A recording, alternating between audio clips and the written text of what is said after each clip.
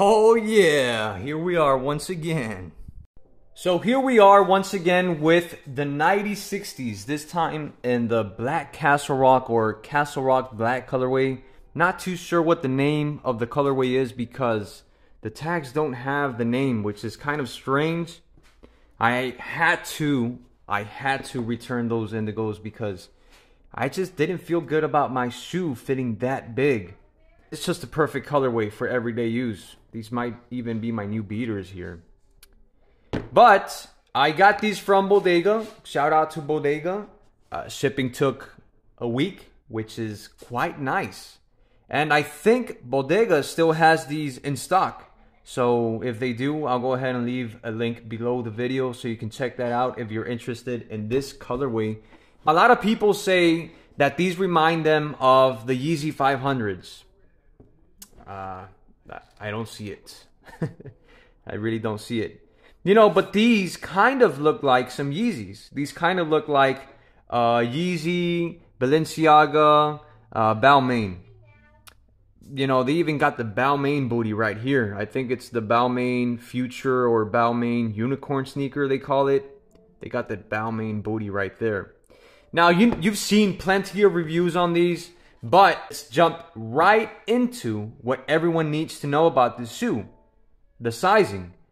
Now, I ended up getting a 9.5, which is a half size down for me, and they fit amazing. The toe box here has plenty of room. It's, it's quite roomy. So, even at a half size down for me, they still got some wiggle room. They're not snug. They're not tight. They fit perfect. Okay, so just go a half size down and you can thank me later down in the comments below. Now let's check these out. I'm pretty sure you've seen plenty of videos on these shoes, but I've only seen, I think it's two other videos of this shoe. Now the colorway is amazing. All the different shades of gray and black used on the shoe. Now, one thing I didn't point out on the indigos is the play on, on two tones on two sides which is the outer and the inner side of the shoe, you can see on the mesh panels right here, this kind of gray, which is dark gray, and on the inside, it's, uh, they use a lighter gray on the mesh panels, which is very nice, you see? Especially when you put them on and you see that, that's amazing, that's beautiful. Once again, the stitched N on the inside, which looks absolutely beautiful. Um, ABZORB right here, which is quite bouncy, okay? And I'm pretty sure they get better as, as you break them in. This sexy bumper on the back.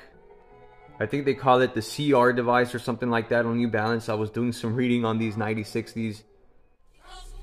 And of course, the diamonds on the bottom, this time red diamonds, which complement the colorway quite nice, quite well. Look, look at this right here, and the whole thing on the bottom is that absorb foam so as chunky as the shoe is, it, it's not heavy. It's it's very light, okay?